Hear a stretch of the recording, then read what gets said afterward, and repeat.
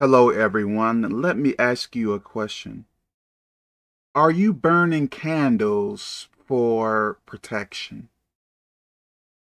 Are you burning candles for a job or for you to be accepted in a particular school?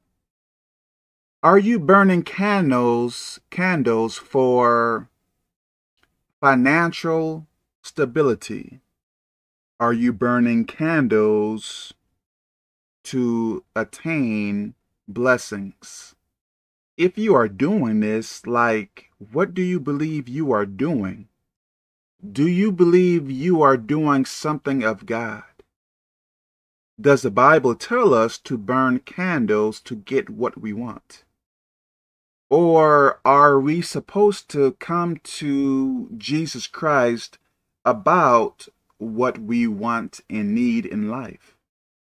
So if you aren't going to Jesus Christ about what you want and need in life, if you are burning candles to get things, aren't you doing witchcraft?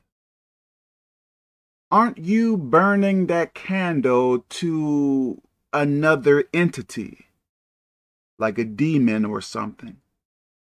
If your prayers aren't going to God, uh, aren't they going somewhere?